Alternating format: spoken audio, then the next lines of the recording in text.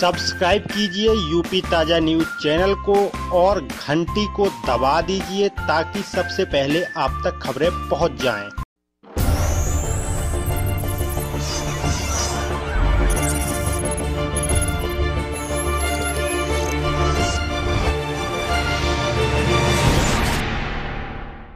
Basic शिक्षा विभाग में कार्यरत शिक्षकों में से इक्यानवे शिक्षक इक्कीस मार्च को सेवानिवृत्त हुए। उन्हीं के सम्मान समारोह में आज उत्तर प्रदेश के प्राथमिक शिक्षक संघ द्वारा उनका सम्मान एवं विदाई समारोह किया गया है। इसके साथ ही जिलाधिकारी महोदय द्वारा नब्बे प्रतिशत मतदान की जो रूपरेखा रखी गई है, उसके भी सबको जागरूक करने का एक प्रयास किया गया है। उत्तर प्रदेशी प्राथमिक शिक्षक संघ पिछले पाँच वर्षों से ये कार्य करता चला रहा है।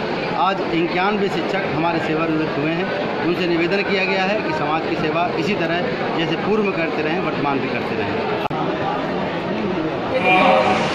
आदरणीय श्री पांडे जी आपने हमारे वरिष्ठ साथियों में प्राध्यापक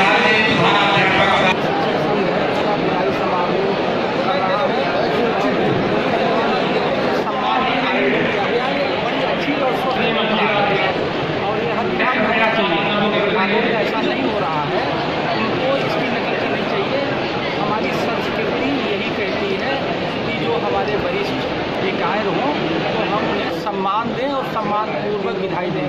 तो मैं प्राथमिक शिक्षक संघ के जो भी पदाधिकारी हैं, जिनके द्वारा ये आयोजन किया जा रहा है, मैं उनके इस अच्छे काम के लिए मैं उनकी तारीफ़ करता हूँ, बधाई देता हूँ, धन्यवाद ज्ञापित करता हूँ। नाइन्टी वन, नब्बे एक इक्यानवे शिक्षक हो रहे हैं। उसमें अधिकांश का देय भी हो गया है। जैसा अभी मुझे बताया गया कि अधिकांश का देय भी जो उनकी देनदारियाँ होती हैं, वो भी निपट गया है। ये भी एक अच्छी बात है। हम लोग लगातार प्रयास यही कर रहे हैं कि जनपद में किसी भी कर्मचारी की कोई समस्या ना रहे।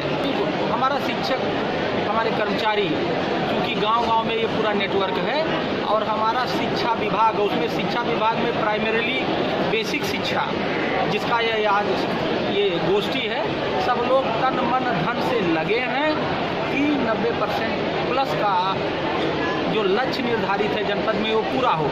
इससे शिक्षा विभाग को बहुत सारे फ़ायदे हो रहे हैं। शिक्षा विभाग घर घर जा रहा है गाँव गाँव में जा रहा है, हर परिवार से मिल रहा है।